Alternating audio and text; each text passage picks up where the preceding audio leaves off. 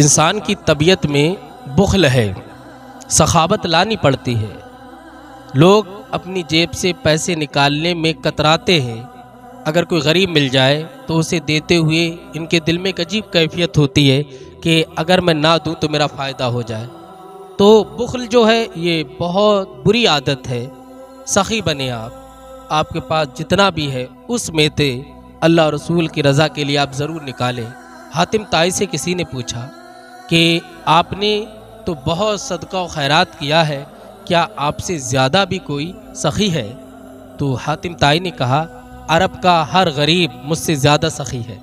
کہا، میرے پاس تو دولت ہے، دولت کے انبار ہیں، اس لیے میں سخاوت کرتا ہوں۔ مگر عرب کا تو غریب بھی اللہ کی راہ میں صدقہ و خیرات کرتا ہے، اور وہ بہت زیادہ سخی ہیں۔ پھر اس نے اپنا ایک واقعہ بیان کیا۔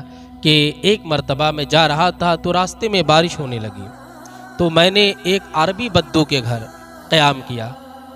کہتا ہے کہ جب میں اس کے گھر گیا تو اس نے میرے لیے بکری ذبح کی اور میرے ساتھ اور بھی میرے ساتھی تھے۔ کیونکہ میرا ایک قافلہ تھا۔ کہا کہ اس نے مجھے پیش کیا تو مجھے بکرے کی سری بہت پسند تھی۔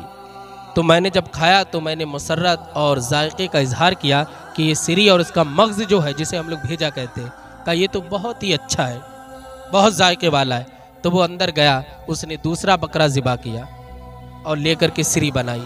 حتیٰ کہ صبح تک اس نے حاتم تائی اور اس کے تمام قافلے والوں کے لیے سو بکریاں ذبح کر دیں۔ جب سویرا ہوا تو حاتم تائی باہر نکلا اور اس نے دیکھا کہ سو جو جسم ہے بکرے کے وہ پڑے ہیں اور سریاں جو تھیں وہ اس نے کھلا دیں۔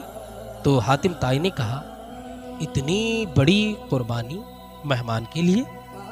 تو کہا، دیکھو، ہم اہل عرب ہیں اور ہم جو ہے مہمانوں کی بڑا قدر کرتے ہیں، بڑا عزت کرتے ہیں اور یہ ہمارے لیے سعادت کی بات ہے۔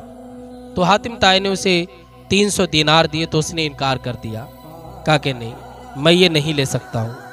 تو حاتم تائی نے کہا کہ، بھائی، آپ نے ہماری اتنی عزت کی، ہمیں کھانا کھلایا ضیافت کی، تو ہم بطور محبت ہی آپ کو ہدیہ پیش کر رہے ہیں۔ مگر وہ عرب کا بدو بولا، نہیں ہمیں نہیں چاہیے۔ اور اس نے انکار کر دیا۔ تو حاتم تائی نے پھر تین سو اونٹ خرید کر کے اسے دے دیے۔ تو بولا کہ دیکھو، وہ غریب تھا۔ اور اس سے پوچھا کہ ان سو بکریوں کے علاوہ تیرے پاس کچھ اور ہے؟ تو اس نے کہا، میرے پاس اس کے علاوہ کچھ اور نہیں ہے۔ تو یہ عرب کی ثقافت ہے۔ حضرت عبداللہ ابن عباس کہتے ہیں کہ ایک مرتبہ میں نے ایک بدو کے گھر قیام کیا۔ تو اس نے میرے لیے ایک اونٹ ذبح کر دیا۔ کہ بارش ہو رہی تھی، میرے ساتھ اور بھی میرے دوست و احباب تھے۔ سات دن بارش ہوئی اور سات دن اس نے الگ الگ اونٹ ذبح کیے۔ سات اونٹ اس نے میرے لیے ذبح کیے۔ جب میں چلنے لگا اور جب باہر نکل آیا تو اس کی بیوی جو تھی، میں نے اس کے لیے کچھ درہم و دنانیر بھیجے۔ تو اس کی بیوی نے انکار کر دیا کہ ہم اپنی مہمانی بیچتے نہیں ہیں۔ ہم اللہ سے اس کا اجر چاہتے ہیں اور ہمیں یہ پیسے نہیں چاہیے۔ تو کہتے ہیں، میں نے اپنے غلام سے کہا کہ تو پھینک کر آنا۔ تو غلام پھینک کر کے آیا، تو بدو تلوار لے کر آیا اور بولا کہ اسے لو، ہم اپنی مہمان نوازی نہیں بیچیں گے۔ ہمیں تم سے کوئی اجرت نہیں چاہیے۔ سات دن اس نے ضیافت کی اور ساتوں دن نیا اونٹ کاٹا۔ باقی جو گوشت بچا، وہ ضائع نہیں کرتے تھے، وہ سکھا لیتے تھے اور دنوں میں کھاتے۔ تو یہ عرب کی ضیافت تھی۔ یہ عرب کی سخاوت یہ عرب کی محبتیں تھی اپنے مہمان کے ساتھ۔ تو آج بھی چاہیے کہ اپنی طبیعت سے بخل کو نکالیں، کنجوسی کو نکالیں اور سخاوت لے کر کے آئیں۔ چونکہ جو بندہ سخی ہوتا ہے تو اس کی غیب سے مدد ہوتی ہے، اسے غیب سے ملتا ہے۔ اللہ کے خزانوں میں کوئی کمی نہیں ہے، سلیقہ ہو مانگنے کا۔